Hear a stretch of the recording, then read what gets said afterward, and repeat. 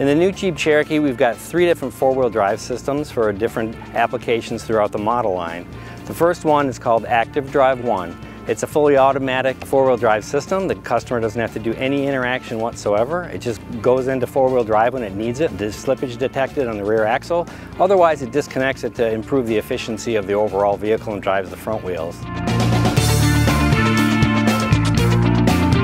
Second option we've got is Active Drive 2. It gives the customer a four-wheel low option, and that could be for towing vehicles or towing a boat for any kind of uh, sticky situation to give them a lower crawl ratio on that. So then they've got a four and high-low situation than the uh, all-wheel drive.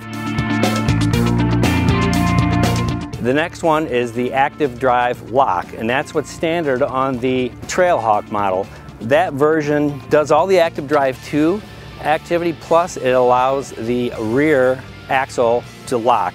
It's got a mechanical locker on it.